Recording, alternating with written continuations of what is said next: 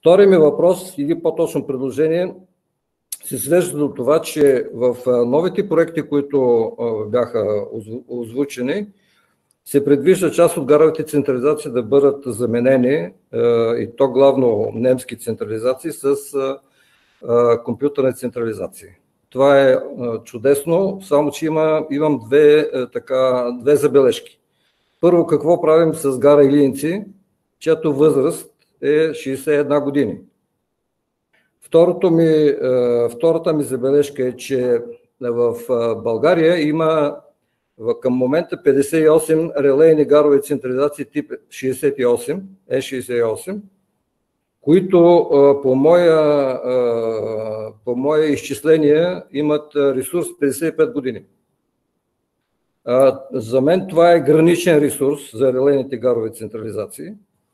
И в тази връзка бих попитал, има ли НКЖ някакво виждане или някаква програма за това, как и в каква последователност трябва да бъдат снемани от експлуатация релейните гарови централизации. Защото по мои изчисления, ако в следващите 4 години нищо не се прави в тази област, то към 2030 година може да се очаква вероятно за опасен отказ в тези гарови централизации близък до единица, т.е. до 100%, което означава, че един такъв отказ може да създаде много големи неприятности на компания Железопътна инфраструктура.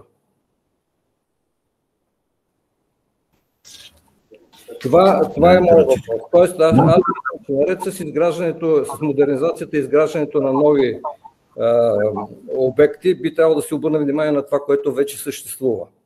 Защото то старее, за мен ресурса на релейните гарови централизации е не повече от 55 години и а, за мен това е обезпокоително. Благодаря, господин Димитров. Говорили сме и друг път с вас. Абсолютно сте прав. Такава е и стратегията на НКЖ. Първоначално а, тръгваме с ВССБ, немски, ВССБ немските централизации, N68 и накрая МН70, като помежду другото подменяме и, и рукезетата. Такава е стратегията на компанията. Разбира се, тя е свързана с финансов ресурс, така че се търсят средства и европейски, и национални по капиталов трансфер така че да може тази стратегия на компанията и в частност на поделени сигнализации и телекомуникации да се ре, реализира по този начин. По отношение на гара Илиенци.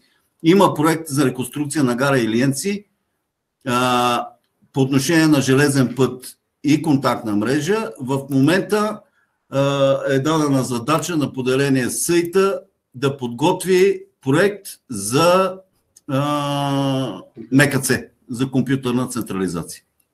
Така че, но тук има едно нещо, което трябва да знаете и приключвам. Тъй като в момента ще започне рехабилитацията на гара София.